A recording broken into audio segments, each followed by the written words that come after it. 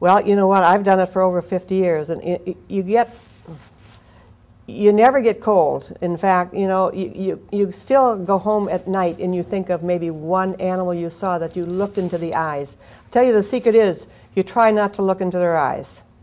That's really the honest truth for me. You try not to look into their eyes, and you just try to do your work and get it over with, and you push it back in your mind because you know that if you think too much about it, you won't be able to go on and do more. Because it's just like everybody says, oh, I could never do that. I could never go into the shelter. I would take everything home.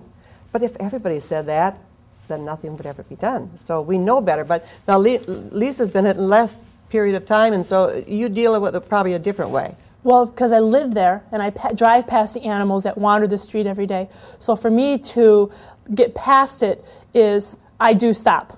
I do. I carry bags of food in my car. I carry water jugs. I carry water bowls.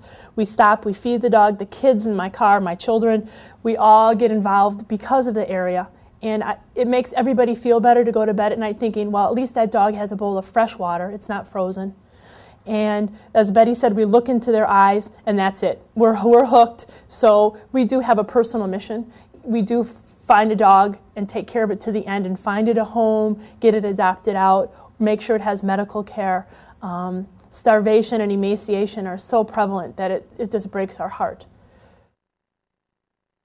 I feel real good about saving those animals. Um, and I think that's maybe what keeps me going is that I'm able to save some and so I know just that little bit is making me feel like I'm making a difference, and that's what keeps you going, you know. And those licks that they give you, and the hugs, and it's all it's all worth it. So okay. a lot of work, but it's very much worth it. Okay. I try not to focus on euthanasia, and the way that I do that is by having the happy moments, sending animals out the door, is what keeps me from losing it. Remembering the people that I've met and seeing the animals out in the community that I've adopted to people and getting letters and pictures and hearing about how wonderfully they're doing and making, you know, a difference one dog or cat at a time. I feel that if I stop, then there's so many animals that could have been saved, won't be. Um, I feel though that eventually saving all the animals from the shelter isn't really the answer. It's you know getting the word out to people, spay, neuter.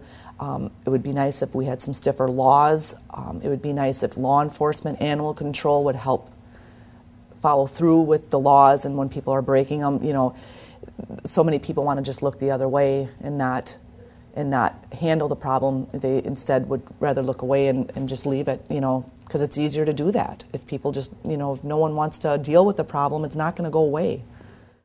As far as, as far as burnout goes, for myself, and I think Lisa might have a different opinion of this at this point, but as far as burnout for me, I think you go until you're done. You, what you try to do is you keep going to the next one for something that you can help that day after something bad has happened.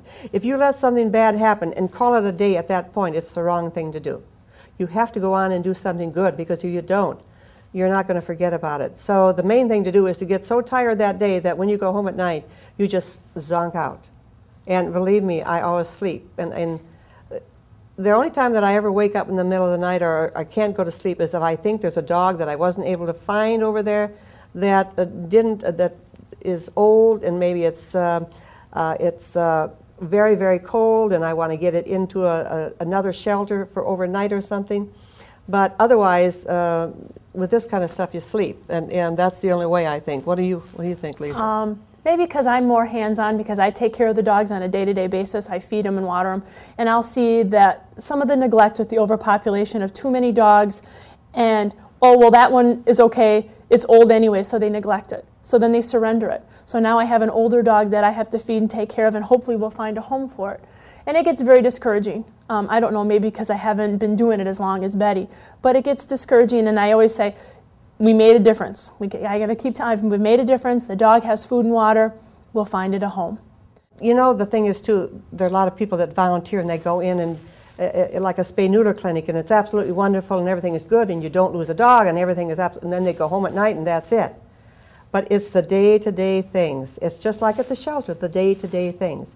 And you know what? In the animal welfare business, it's not just the sadness with animals, it's the sadness with people. The people that bring their animals there and don't really want to, but really have to. And we have people too, where we're working right now. Um, they can't afford to do more with their animals, or uh, they really do feel bad. I, there, I have had many people mm-hmm. That when we tried to save their animal, and I call them back, and, and they have to hang up because they're crying. And, and I can stop there a week, you know, a week later, and, and uh, it still is a very, very sad subject. And so the people is, people are just as much a part of the sadness in animal welfare as, as the animals are. And frankly, my opinion is that people, if they don't like people, they're not going to be as good in animal welfare as if they don't like people. Because the people that like people and animals then have it all together and that's where it really all comes in. You know, you have to feel sorry for a lot of these people that are under the situation that they are. And if you, if you get so cynical that you don't face that, then you're wrong. For the most part, I, I'm, the emotions are good. You know, they're, they're, if I cry, it means that I, you know it's a good feeling because I know I've saved some of the animals that are down there. Thank God I don't have to actually walk into a shelter to pick the dog, which one I'm going to save. I'm able to look at the pictures on Pet Finder at the shelter that, that we've you know, been helping. Um, and we kind of just find out a little bit about their temperaments and you know uh, feel if they're adoptable or not and we kind of go from there. And that's how you know some that have those wonderful temperaments and so many do. There's so many that that are so deserving of homes. But we try to pick the ones that we feel that will be more adoptable that we take. And not to say that we don't take some older dogs or the black dogs or you know those dogs. They do. They they get chosen too. But they're you know we we only have a few that we can take. So you got to make make the selections and you got to pick the ones that you feel are going to be adopted I keep doing what I'm doing because I have an emotional attachment and I feel a mission to make a difference and I get to do that every day.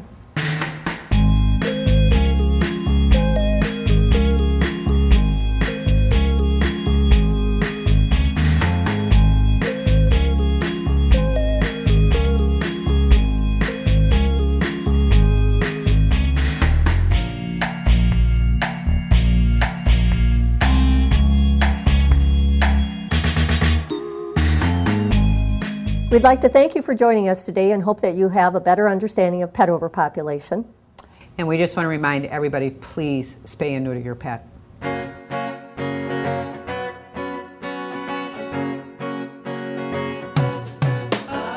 Happy Tails was brought to you by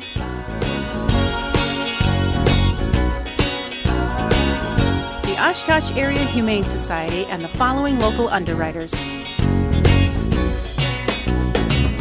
Lakeside Animal Hospital, 235 5040. Provident Financial Consultants LLC 230 6898.